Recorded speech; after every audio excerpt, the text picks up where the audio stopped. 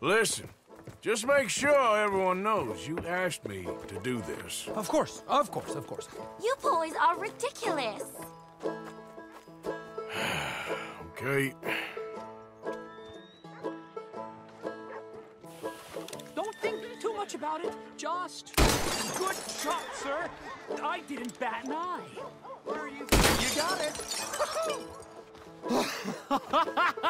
that was fun. What was? I feel like we didn't even do anything.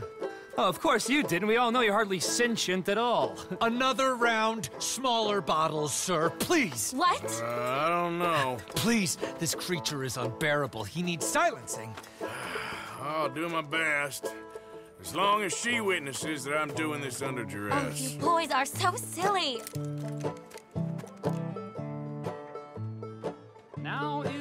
As good a time as any.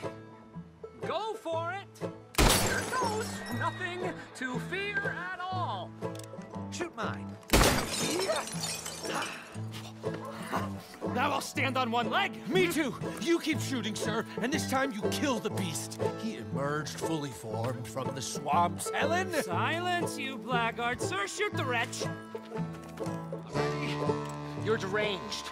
Shoot away, sir. My bottle and his brains, if you please. At least I have. Why? I must be the bravest man I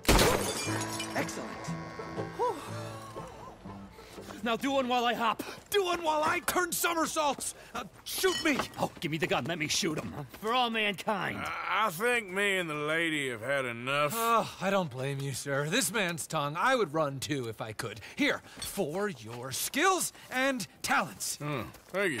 Now, brother, I am going to walk Helen home. Don't follow us. She has an elderly aunt, and I fear the sight of you could finally finish her off. Helen, is this creep bothering you? You two, come Oh, along. No, there um, aren't two. There's me and the lizard man. Please, my angel, do not aggregate us both together. Boys, you are too much. Right.